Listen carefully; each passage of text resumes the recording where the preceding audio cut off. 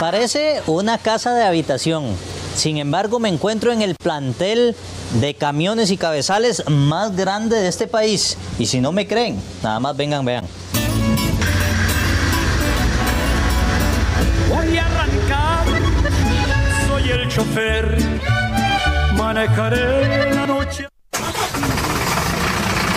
Me encuentro en Río Grande de Atenas y el dueño de esta colección se llama Richard Hernández.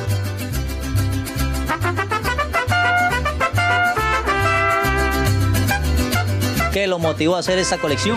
Mucho gusto, mis amigos, un placer. Se puede decir que es un museo, el, muse- el Museo del Trailero. Podría decirse. Richard fue camionero durante 25 años, pero toda su vida ha sido amante de los cabezales y de los transportes de carga pesada. Desde pequeño, desde cuatro o cinco años, este, siempre, siempre me gustaron los camiones. Así que solo eso pedía para Navidad. Y una vez que comenzó a trabajar, amplió su colección. ¿Cuántos camiones tiene? Aproximadamente como unos 800, más o menos como unos 800 camiones. Y, y ahí es, es mi tesoro, ¿ah? es mi tesoro.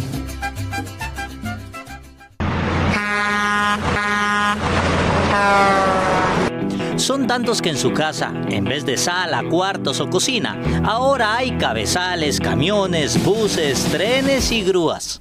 ¿Dónde tiene usted el resto de la casa? Porque aquí no veo sillones, ni cocina, ni nada. Ya mi amigo, la, todo el resto de la casa está lado atrás porque esto eran dos cuartos aquí. Se tuvieron que quitar porque los, los, los chiquitos chineados, los bebés, este, ahí hay que hacerles campo. ¿ah? Aquí hay de todo, hay buses, están todas las, chompipas que llaman, vagonetas.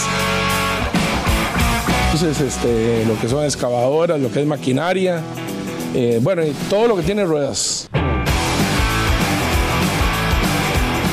Sin quererlo, su casa se convirtió en un museo dedicado al trailero, porque en exhibición tiene 800, pero tiene muchos más. Lo que pasa es que ya no sabe dónde colocarlos.